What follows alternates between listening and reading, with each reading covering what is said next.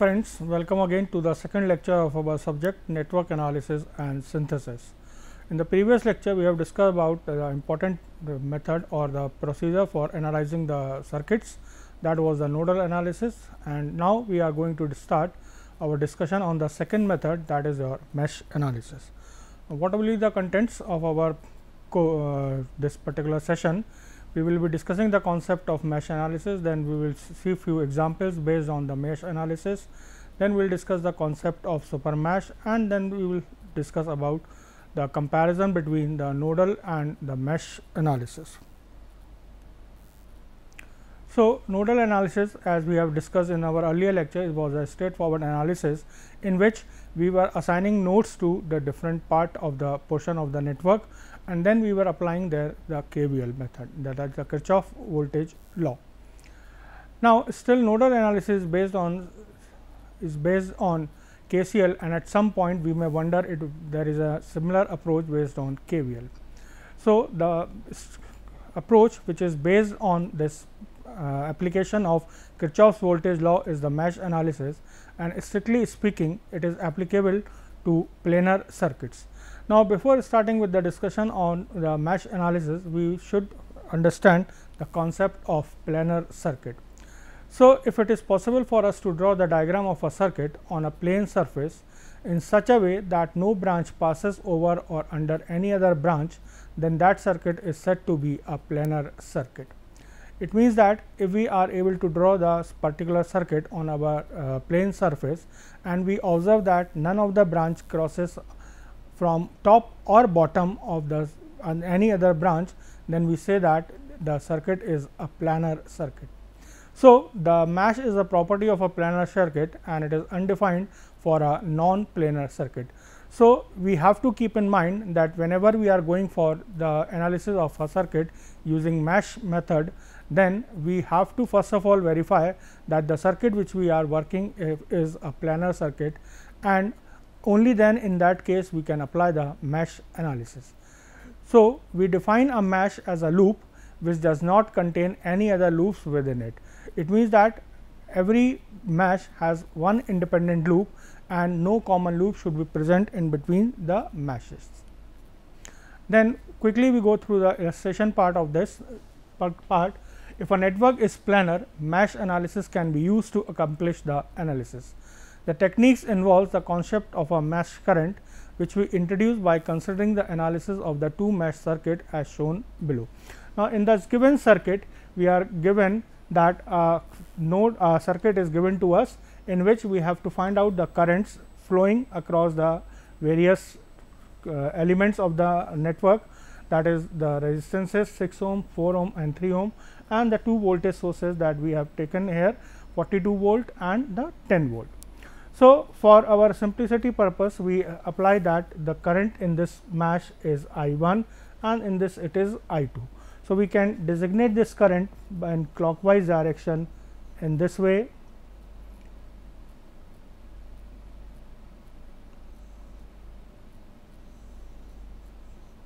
and in this way.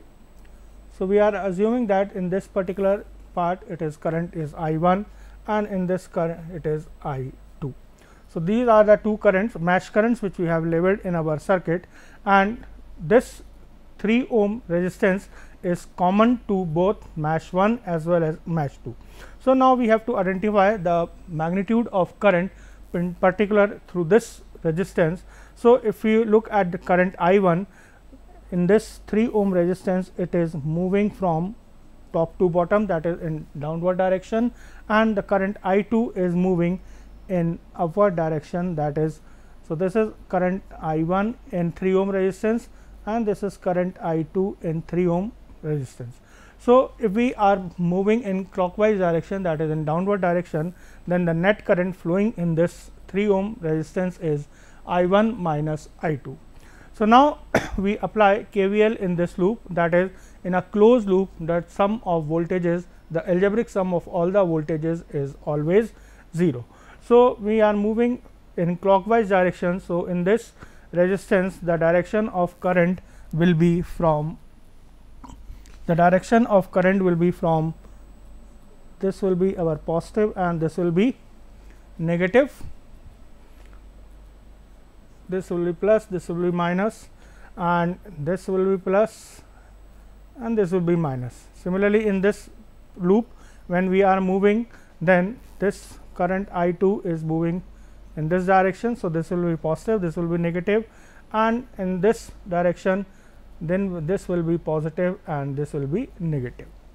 So, when we try to write down this equation, so we have first equation when we move in this loop in clockwise direction, we first encounter this voltage source of 42 volt.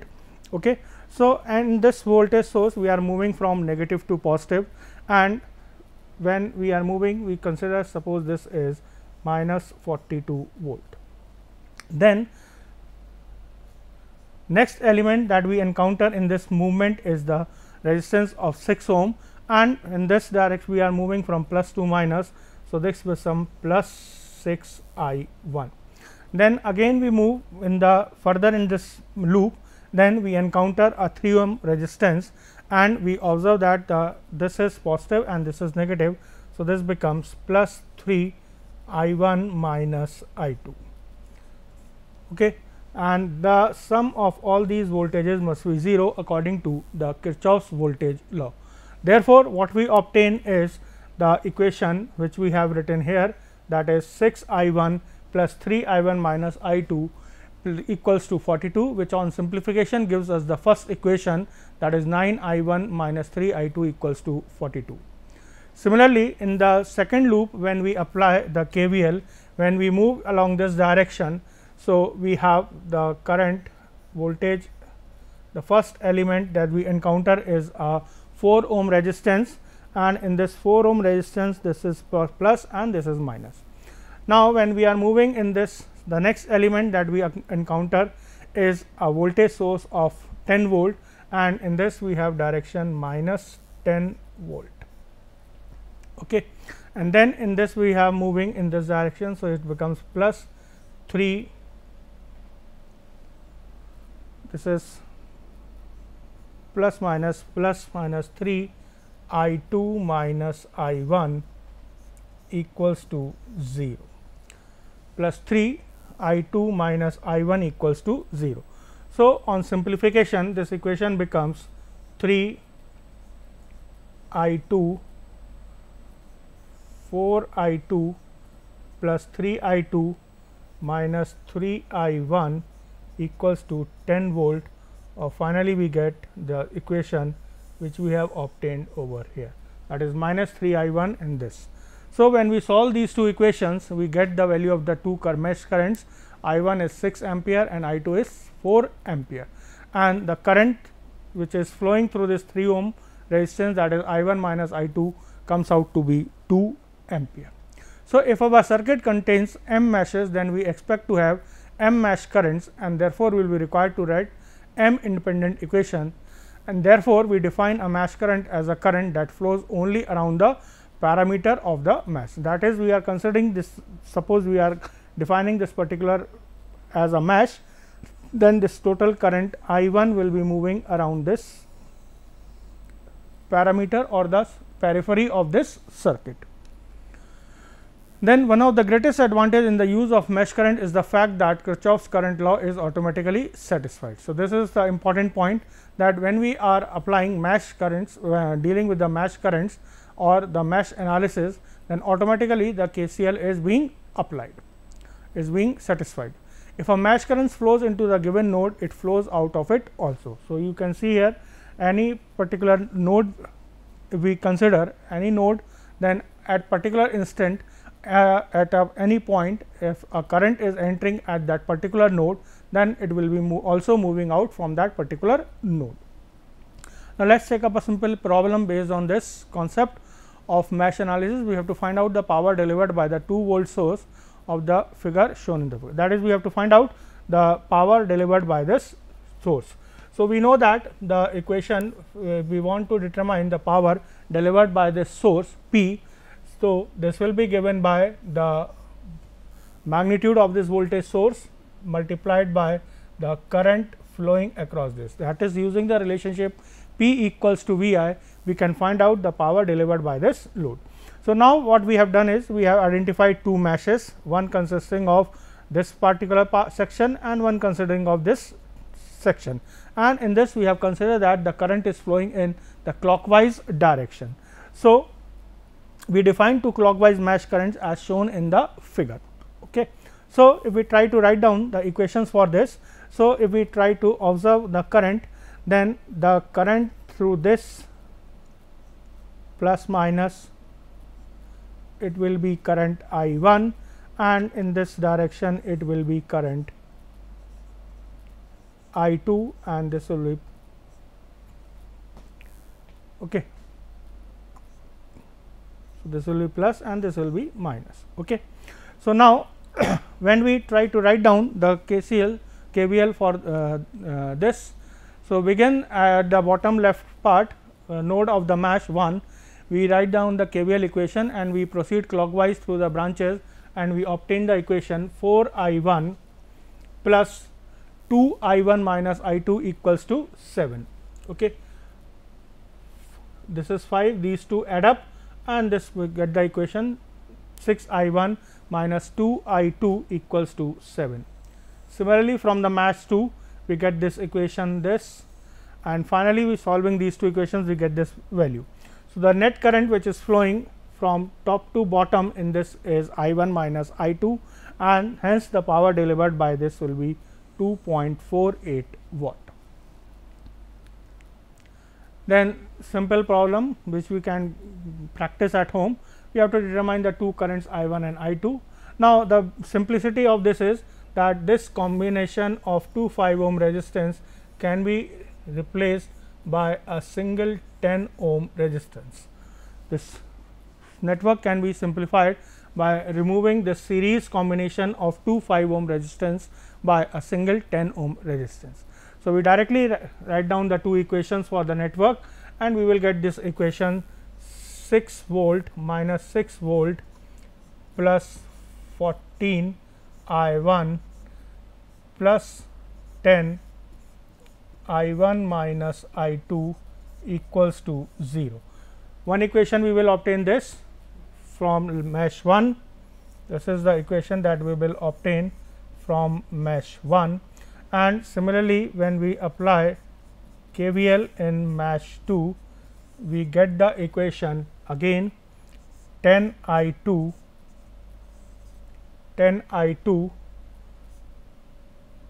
minus 5 volt plus 5 volt then plus 10 I 2 minus I 1 equals to 0.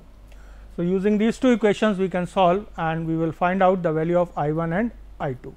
Now, in this problem we have a 3 mesh problem. So, we will individually write 3 equations connecting I 1, I 2 and I 3 and we will solve these equations to find out the mesh currents I 1, I 2 and I 3. Similarly, in the same way we can solve this problem which has been given for you as a practice problem. Uh, so, you can write mesh 1 equation, mesh 2 equation and mesh 3 equations and you can find out the currents.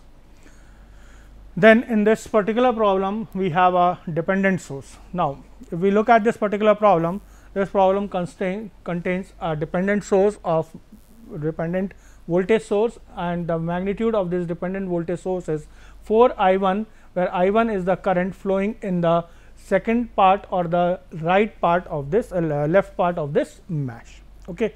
So, we have to write down these two equations for this and the equation the current I 1 is actually a mesh current.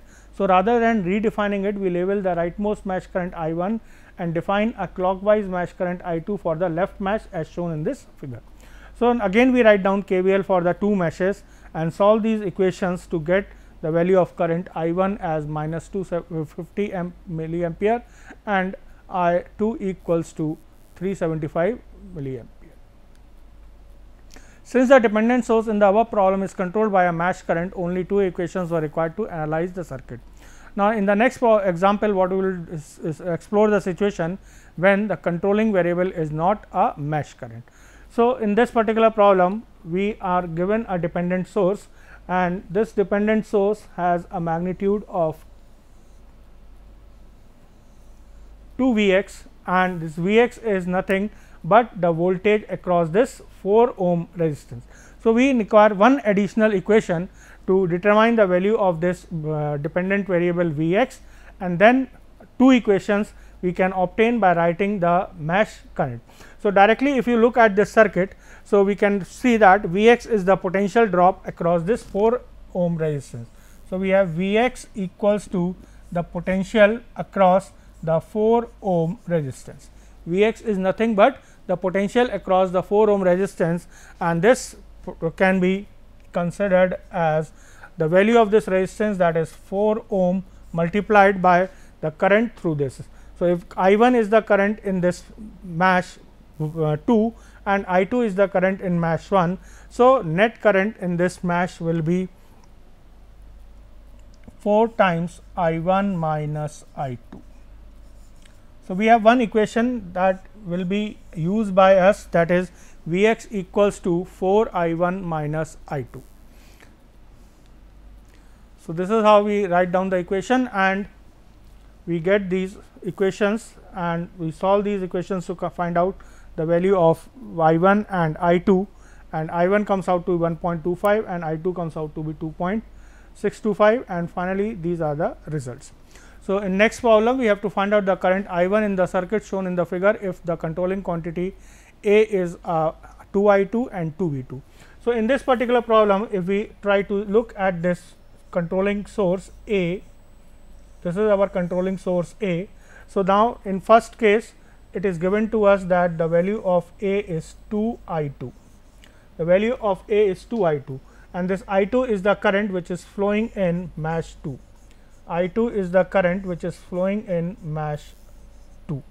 Okay. So, we have to write down this equation in terms of this expression. So, this means that this is our voltage this is our voltage source dependent voltage source which is dependent upon this current I 2. Similarly, in second part we have given that the controlling uh, quantity A is 2 V x where V x is the potential drop across the 5 ohm resistance. So, again in this case we have a voltage source which is a voltage dependent source. So, we can solve these two equations for I 1 and I 2 and find out the currents in this problem. So, quickly uh, recap of the mesh analysis. First of all, it should be required the first important part for mesh analysis that is the circuit which we are working for with is should be a planar circuit and if it is not a planar circuit then we go for nodal analysis.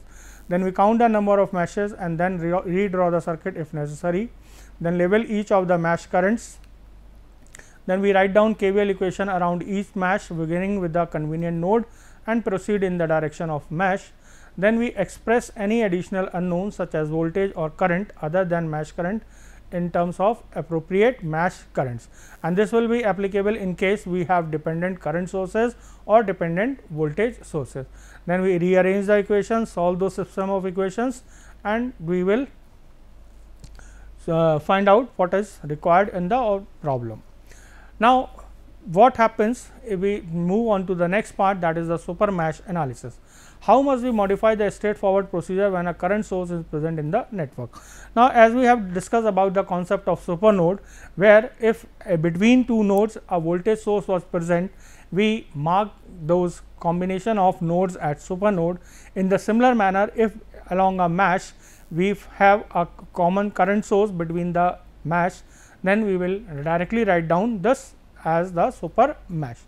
Taking up a lead from nodal analysis, we should feel that there are two possible methods. First, we can assign an unknown voltage across the current source, then we apply KVL around each mesh as before and then rate the current source to the assigned mesh currents. This is the more difficult approach. So, what we have to do is we have to first of all uh, write down try to find out the voltage drop across that current source. So, that we can uh, apply KVL and that part and then once KVL is applicable we can uh, uh, go for the analysis part, but that will be a more tedious and more difficult approach. So, a better technique is that we quite similar to the super node approach in as we have done for nodal analysis. There we formed a super node completely enclosing the voltage source inside the super node and reducing the number of non reference node by 1 for each voltage. So, this is how we form a super mesh. So, in this particular problem we have to uh, uh, we are given a uh, current source of magnitude 7 ampere which is present commonly between mesh 1 and mesh 2. So, this is mesh 1 and this is mesh 2. So, this will be considered as a super mesh and directly we can write down the equation for this that is I 1 minus I 3 equals to 7 ampere and then we can go for the analysis part by writing down the mesh equations. So, this is the again the summary that in some of our mesh apart from the points that we have discussed in the mesh analysis the first of all the circuit should be planar then we have to count the number of then we find out if there is a current source in between or the common between a mesh then we found uh, form a super mesh to enclose both the meshes. Then we write down KVL around each super mesh and then we relate the currents from each current source to a mesh current and then finally, we try to find out if there are additional unknowns that is voltage or current around that mesh so that we can write down in uh, we can express them in terms of appropriate mesh currents. Then finally, we organize the equations and solve those system of equations to obtain the uh, to solve the system of equations to obtain the mesh currents. Now, a comparison between uh, since we have studied the two methods, now we try to compare the node analysis and the mesh analysis. Now, if we go for quickly go for the analysis of uh, the two uh, methods that we have discussed, then directly we can say that if we are uh, uh, going for the analysis of a non-planar circuit, then obviously nodal analysis will be the best method. Else the method will be the method applicable will be the mesh analysis. So, if we have to uh, go for nodal analysis then we have to identify n nodes which leads to n minus 1 KCL, equa KCL equations and each super node will define or will further reduce this number by 1. That is if we are able to find out a super node in our network then the we have to solve at least n minus 2 KCL equations. Similarly, if the circuit has m distinct meshes then we will obtain at most m KVL equations and each similarly in the same manner each super mesh will reduce the number by 1. Based on these facts we should select the appropriate method that will result in a smaller number of simultaneous equation. Now, it is on our choice that whether we are going for mesh analysis or nodal analysis depending upon how many number of simultaneous equations we have to solve. So, if one method gives us 4 equations for solving and another method gives us 3 method 3 uh, equations for solving, then we will obviously proceed for that method which gives us 3 equations 3 simultaneous equations to solve. Similarly, if one or more dependent sources are included in the circuit, then each controlling quantity may affect our choice of nodal or mesh analysis. So, if our dependent source is a voltage source, then we will go for nodal analysis and if the dependent source is a current source, we go for a mesh analysis. A dependent voltage source controlled by the nodal voltage does not require an additional equation when we perform nodal analysis. A dependent current source controlled by a mesh current does not require an additional equation when we perform mesh analysis. If the controlling quantity can be easily related to a mesh current, mesh analysis is to be the most straightforward option. So, if you see that if in case of a controlling or the dependent part which is easily controlled by the mesh current then our most appropriate approach must be the mesh analysis. So, the two points that is if our network contains a dependent voltage source which is controlled by a nodal voltage then it is obviously that we will go for nodal analysis and if we have a dependent current source present in our network which is controlled by mesh current we have to go for mesh analysis. Mesh analysis and we have discussed certain points. Now, moving further ahead you observe that if we are analyzing any particular network in which we come to analyze uh, the um, network which contains some dependent sources and the controlling quantity for that voltage source or the current source are can be related to nodal voltage then we perform the nodal analysis. Now, similarly as we have discussed in the previous slide that if the controlling quantity can be easily related to mesh current, then mesh analysis to be performed.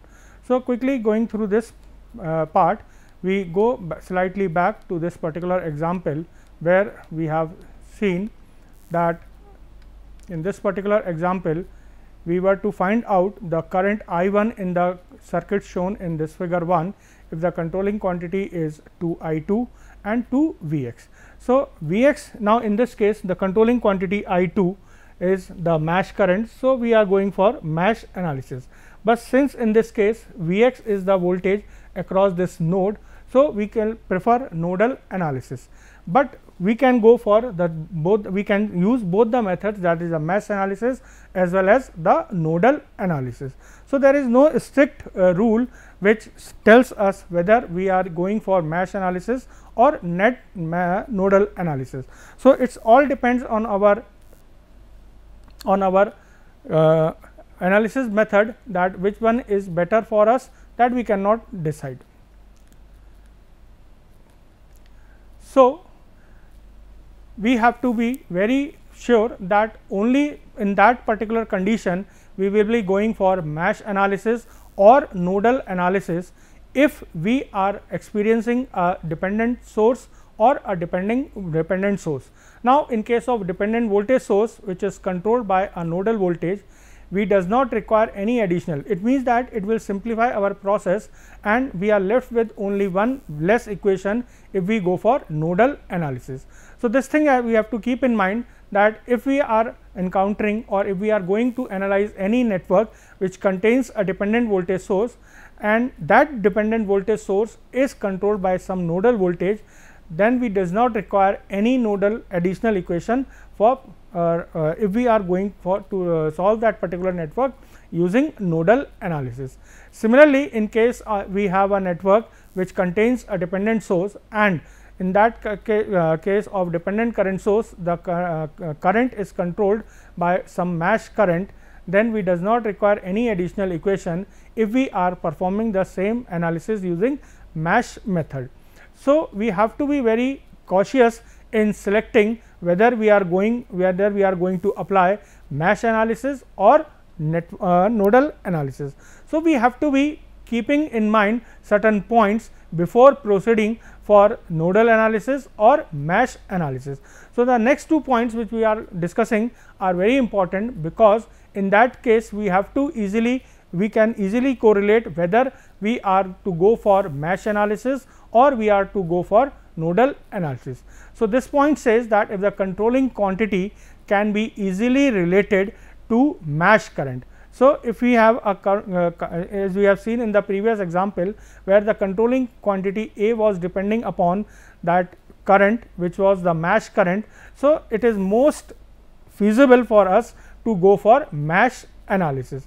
In the second part of the same example, we have seen that the controlling quantity can be easily related to the node voltage that is V x was the voltage at the node node voltage. So, we will prefer node analysis and the final point is that the current sources which are in present in the periphery of the mesh whether dependent or independent are easily treated in mesh analysis and similarly the voltage sources which are connected to the reference terminal can be easily treated in the nodal analysis.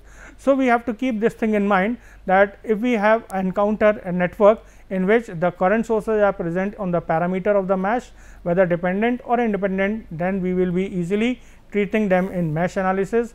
And similarly if we have voltage sources which are connected to the reference terminal that is one terminal of the voltage source is connected to ground then we will be easily going for the nodal analysis.